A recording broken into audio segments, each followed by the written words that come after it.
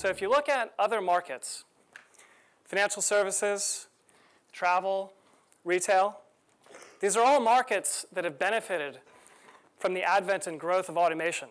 So if you look at financial services, the first stocks to be traded electronically were low cap stocks. They're the stocks that most people hadn't heard of.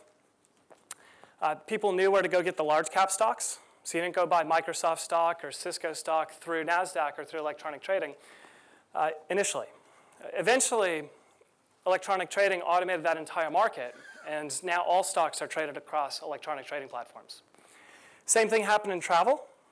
When Sabre Systems was initially created, it was created within American Airlines to sell their unsold airplane seats. Eventually, American Airlines spun out Sabre Systems into its own company, and they served all airlines, all hotels, and also all rental car agencies. And today, most travel reservations come across an electronic or automated trading platform, including great brands like Four Seasons or Ritz-Carlton. Uh, we saw the same thing happen with retail as well. So in the early days of eBay, the first things to be sold on eBay were things that would typically be sold in a flea market or a yard sale or a garage sale. And today, there's one car sold on eBay every single minute. So we've seen automation come into these markets and automate the entire stack of inventory. So if you look at what's happening in digital advertising today, over the past five years, we've been focused on automating a lot of the low end or the remnants type inventory. Uh, we've moved mid-market.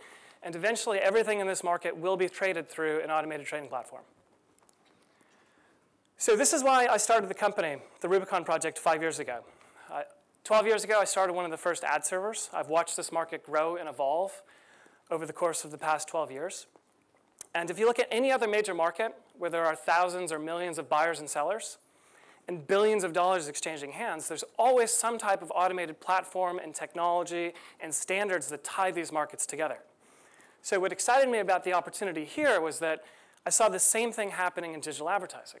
It's become a global market, lots of innovation, uh, lots of new capabilities brought into the market. But the issue is that it's, become, it's still too difficult for advertisers to go spend money online. So until we address the first two problems, nothing else in this market matters. Uh, the number one problem is that it's still too complex and too expensive for an agency or an advertiser to go spend money with a publisher. And this is why. There's too many manual processes, uh, too many hops and steps in the middle. Uh, this is a market where it's still uh, managed primarily by relationships and telephones and fax machines. And it's a very, very fragmented market. The second problem, without naming names, is that there's increased competition. There are companies who have spent billions and billions of dollars to take an audience and make it accessible at scale. And if you look at the top publishers around the globe, they've spent a fraction of that in technology to make their audiences available at scale. So the reason this is a challenge is that if, if you take out the top five publishers, and if you look at where the inventory is coming from, so take out Facebook, take out Yahoo, take out the top five publishers that exist, and you go to number six or number seven or number eight, in any uh, major market throughout the world, they have maybe one or 2% of the, the total available inventory or impressions, right? So if you're looking at this from an agency point of view, if you want to access an audience at scale, you have to put together a lot of these 1 or 2% to get to an audience that makes sense for them to, to reach. The interesting thing about this is if you look at this pie, most of the inventory is actually coming from the premium publishers. The challenge is, is in reaching them because it's very fragmented to, to access them. The solution to this is automated capabilities. Same thing that happened in travel, same thing that happened in financial services is what they did was they took all this fragmentation, they put it together through automated platforms and marketplaces, and they made that inventory available at scale, and they created safe environments for those transactions to occur. So we get so hung up in all the technology and the acronyms, and I think what's happening is, is what we're doing is we're creating so much rope that we're just hanging ourselves with it. So We need to focus less on the acronyms. It's not about RTB or SSPs or PMPs or WTFs or anything like that. What it really is, it's, it's all automation. This is what we're really talking about here. So the main problem that we need to focus on solving is how do we make this inventory more accessible? How do we make it so it's easier to go spend money online? Uh, just as easy, if not easier, than it is in digital, uh, I'm sorry, in, in, broadcast or print or outdoor advertising. So what we need to focus on is how do we make all the inventory accessible through automation? Not just remnant, but also the non-guaranteed inventory, as well as the premium guaranteed inventory. It can all benefit from automation. So we use the word programmatic a lot. I'm not a fan of the word programmatic, primarily because I think it creates the, the emotion that what you're doing is you're just kind of kicking back and letting the computers do all the work for you. That's not the case. Automation doesn't mean that you don't do the work or that you don't have any control. Just like the GPS in your car. You don't install a GPS and say, hey, let, let me let the car drive itself, right? We wouldn't do that. We wouldn't hop into a plane that's going to go fly itself, right? It always needs a pilot, even though there's autopilot. Uh, and the car uh, needs a driver behind it. The GPS helps you get there more efficiently and more effectively. So the, the conversations that we're having today as an industry are very similar to the conversations that occurred when IBM put the first computer on someone's desk. Put a computer on the desk, people looked at it as though it was some kind of foreign object, uh, they said, hey, this computer's going to get in the way. I have to learn something new. Uh, it's going to take over my job. Uh, it's going to slow me down because I have to go learn this, this new thing. I'm going to create more mistakes, right? And what we actually found was that computers didn't replace people. No one got to kick back and just you know, put their legs up on the desk and watch the computer do the work for them. What we found was that computers need people. And people need computers. And what's happened is, that we found that with every computer that got installed, it required a company to go hire a person to go operate it. That person became more efficient. Their businesses became more efficient. The markets that those, that those businesses existed in became more efficient and they grew. And those people became more valuable to their organizations. So this is not new. What we're just talking about is using computers to make things better, faster, and cheaper, just like we've seen in other markets before. So when we talk about RTB, we talk about RTB as though it's a new business or an industry or a market. It's not. RTB is just a protocol. In fact, it's the first protocol that this, this industry has all gotten together, the first standard. And it's just a common language for a buyer and a seller to be able to connect. It's no different than HTTP. We don't talk about HTTP when we refer to the internet. We talk about e-commerce, uh, we talk about social networks, uh, we talk about applications. HTTP is just a protocol that enables a consumer to be able to talk to a business through a web browser. When we talk about private marketplaces, all we've done is we've created a fancy word for saying that we're just taking the same selling rules that we put on our direct sales organization, and we're enabling computers to enforce those rules. The nice thing about this, though, is that computers can, can enable much more complicated rules, and you have more fine-tuned controls over this. But it's just a, a new fancy term that we've created for a very simple process. So the world that we're in is, is not a new world, but it is a much more powerful world. We're, we're in a world where we're able to use computers and automation to do things smarter, faster, leverage data, uh, tie markets together. So as an example here at the, at the Rubicon project, we've invested a ton of money and time into building a computing infrastructure that's enabled, uh, that enables companies to better transact, the buyer and the seller, and do so you know, leveraging data, using algorithms, uh, using computers to make smarter decisions. So this is a world that does require a lot of computing power. So we've put 16,000 CPUs online. And every single second, there's 45 gigabits of data that are passing through our systems. These are transactions between the buyer and the seller. All this data becomes far more valuable. So the way that, that we need to think about this is that if you took every single publisher in the infrastructure that they've developed to run their websites, and then you took every single DSP and ad network and trading desk and ad exchange and all the infrastructure that they've put together to run their systems, and if you put all that together in one data center, we've had to develop a computing platform that has the same processing power as all those things combined because every time there's a web page delivered from a publisher, there's one or multiple ads that shows up on that page. And then we have to take that and send out bid requests to uh, every single one of the, the DSPs or the ad networks or exchanges who are bidding.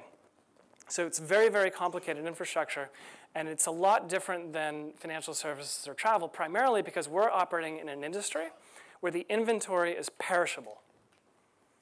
It's not like a stock or a hotel room that could sit on the market for a day, a week, a month, or even a year. You have 30 milliseconds to clear that transaction. Right? So we're operating in a very complex real-time environment as an industry. And we need to bring everybody closer together in order to make these transactions more efficient. Data, there's tons and tons of talk about data, right? Big data, our systems are processing over three petabytes of data, pricing data, over 650 million users across the US. We've solved the problem of taking a massive amount of audience and inventory and making it accessible at scale. What we need to do is we need to bring the buyer and seller together uh, to be able to leverage that data and leverage uh, that audience in one place. And the last piece here is talking about computers. Computers can make decisions faster and leverage data in, in a way that humans just simply cannot. So for every single ad that comes into our trading platform, there are over 197,000 decisions that need to be made. Who's the user? What type of site is it? Uh, where do they sit in the session queue? Uh, what time of day is it, all the different environment variables. It takes all this stuff together to figure out what is the optimal trade between the buyer and the seller. Right? These are, this is a, a computational analysis that a human simply cannot do in less than 30 milliseconds. And this is happening over 1 million times every single second. So in the time that it takes you to blink an eye, our systems are processing over 300,000 trades. So I'm not saying this to brag about our platform. I'm saying this because we're in the middle of this revolution as an industry and this is a perfect example of how we're able to use computers to make decisions much more intelligently and faster and at scales that, that humans just simply cannot operate in. It would take about 30, if you took 30,000 people and stuck them in a room, you can get them to make 1 million uh, decisions or transactions uh, in a second, right? It'd probably take them the entire day to make those decisions. So where do we need to go next? The technology exists, the inventory exists, the buyers exist. Uh, what we need to do is we need to take the technology out of the middle. And what we need to do is we need to put the technology underneath. We have to, to get the buyer and the seller together, push them together to do these deals, and use technology as an enabler. It's not about automation or programmatic or anything like that sitting in the middle, making decisions for you. You need to make the decisions. You need to figure out the types of deals that you want to do. And we need to use the technology to make these, the execution of, of those deals uh, much more effective. There are two things standing in the way for us today uh, in, in making this happen. Uh, number one is a very technical, technical and tactical issue, which is deal ID. We just need one simple identifier that's passed from the advertiser through the agency, through the trading desk, through the DSP, to the SSP, to the ad server, that ties the buyer and the seller together so they know that they're looking at the same deal. It's very simple. So all we need to do is get this one technical thing in there, and, and we can enable these transactions and push the buyer and the seller together. And the second is attitude and communication. We just have to want to do it. The publisher and the, the agency and the advertiser need to get together and have the conversations. Don't rely on the technology in the middle to make these decisions for you. Don't let the technology get in the way. And don't get confused by all these acronyms. It's really about you know, doing deals and letting technology make those deals more effective. So in summary, um, this automation thing is happening. Uh, we've seen it before. It's happened in other markets. Same thing's happening in this market today.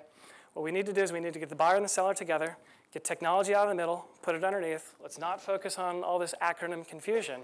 And if we do this, not only will the digital marketing and advertising market grow, and will we move and shift dollars from broadcast and print and outdoor to online, but the top premium publisher segment of the market will not only sustain and maintain itself, but it also has the potential to grow and be far more competitive than the, the large giants that are trying to come into this space and provide those technology solutions to you know, not only benefit themselves, but to try to bring some of these dollars online uh, to you know, really enable their own businesses to grow, not necessarily the, the overall publisher market or the top premium publisher market. So I think there's great opportunity here. Um, one thing that I want to leave you with is I would like you to imagine what the travel industry would look like if it wasn't for automated trading. Imagine if you needed to go book a trip. And first you had to pick up the phone and book a, a an airline or a flight. You'd call up British Airways, find out what flight times they had available. They might not have any seats available. You hang up the phone, you call Virgin, uh, find out what they have available. Maybe you don't like the price. You hang up the phone, uh, you call American Airlines, and you finally find the, the, the flight at the right time and the right price that you want. Hang up the phone then, you call a hotel, go through the same process, then you have to go book a rental car place. You, know, you call four or five of these, and you know, four or five hours later, you've booked your trip. Now you have to go send in a check, mail it to them. They're going to send you back a ticket. You get all this stuff, you put it together in a little folder, you go to the airport, you take this out, and when you get to the airport, someone pulls out a spreadsheet, looks for your name, and checks off your name from the list. Right? Imagine that world. We can't because it doesn't exist anymore. But it did. So fast forward five years or 10 years from now, I think we're going to be looking at this market using that same analogy and looking back on it and saying, that's absolutely crazy that this market that has existed for thousands of years is now operating in this way. A lot of people don't know this, but the first advertisement, paid advertisement, was actually a painted rock in 4000 BC. So we're looking at 6,000 years that this industry has been operating in a very manual way. And really over the, the last five and the next five is where we're bringing this automation and real technological capability to it. So it's a very exciting time for this market. So again, we've seen this story before. We're not that brilliant. Thank you very much.